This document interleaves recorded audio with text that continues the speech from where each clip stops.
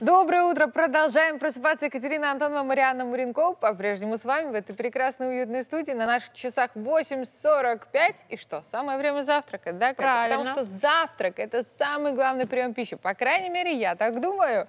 Да, в разных странах мира к завтраку подходят очень ответственно. Например, на Ямайке утром едят плотно и сытно. Во Франции ограничиваются круассаном и чашкой горячего кофе. Не очень ответственно там Да, подходят. да. Поверим, этого достаточно. У них такой плотный обед и ужин, что лучше много не завтракать. А вот чем завтракают молдаване? Задавали ли вы себе когда-нибудь такой вопрос? Ну, если да, мы вам ответим. Молдавский завтрак схож с нашим. Будни там, как правило, готовят кашу на молоке и бутерброды. А вот завтрак выходного дня – это совсем другое дело. Это блины или традиционный десерт. Шапка гугуце. Этот десерт готовится дольше, но результат стоит потраченного времени. А называется он шапкой, потому что в разрезе напоминает шапку пастухов, которую носил маленький мальчик по имени Гугуце, герой сказок молдавского писателя Спиридона Вангели.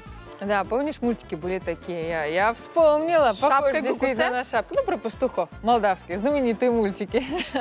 А, Ну, этот торт получается большим и вкусным. Для начинки используются вишни из компота, а коржи трубочки промазываются сливками, взбитыми с сахаром. Вот так. Очень вкусно. Ну а еще в Молдове часто едят на завтрак мамалыгу. Тугая молдавская каша из кукурузной муки.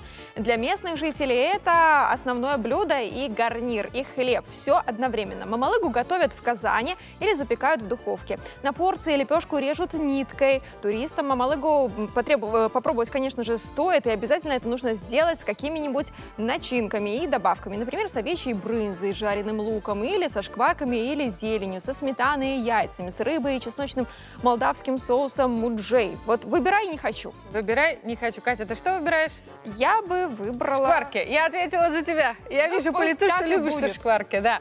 Не, на самом деле я ела даже в Молдове мамалыгу, это очень вкусно. А вот запеканка бунны зюа – это повседневный завтрак а, в молдавских селах. На самом деле как-то по-французски звучит, да? А в каждой семье его делают по-своему. На основные продукты везде одинаковые. В тушеную капусту добавляют заливку яиц, молока, кукурузной крупы, томатной пасты. Все это тушится 15 минут, затем запеканка выкладывается на тарелку и подается с кашей. Такой завтрак очень сытный и полезный. Даже по описанию мы это видим. Ну и самая популярная выпечка молдавской кухни – румяная сытная плацинда. Это такой вот ходовой стритфуд в Кишиневе и любимая еда туристов. Пухлые лепешки пекут на дрожжевом, слоеном или затяжном тесте. Вместо духовки иногда даже используют сковородку, тогда закуска получается жирнее, ну и готовить ее проще. Пироги начиняются соленой брынзой, опять же, мясом с творогом, зеленью, картошкой, а вот сладкие молдавские плацинды готовят с яблоками, творогом с изюмом и тыквой. Какое интересное вот э, затяжное тесто. Это то тесто, которое делается под затяжную молдавскую песню? Я думаю, то тесто, которое делается долго. А, вот так вот. Ну, что касается питья, то в Молдове утром отдают предпочтение чаю, но не кофе. Интересный факт, что раньше молдаване практически не употребляли чай из чайных листьев, а настаивали на травах или веточках вишни, малины, смородины. Чай, кофе чаще подают в городских семьях и в домах молодых сельчан. То есть пьешь кофе городской. Да, сразу. Да, ну и получается, что не так много кофеина поступает в организм. В общем, вот такие вот они нравы. Если вы сейчас э, завтракаете, то мы вам желаем приятного аппетита.